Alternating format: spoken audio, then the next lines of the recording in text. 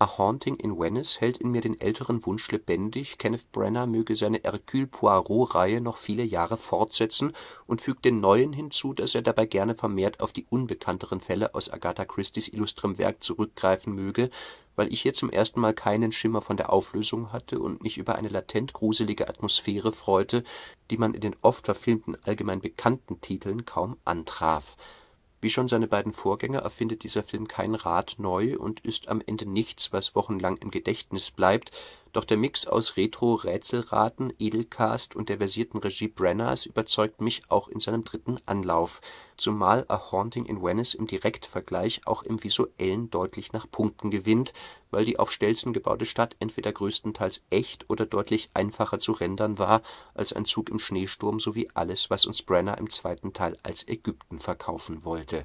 ich bin immer mal wieder ein gar nicht mal so kleiner Fan von solider Hausmannskost, und die liefert diese Reihe getreulich zum nunmehr dritten Mal. Wie eingangs gesagt, gerne mehr davon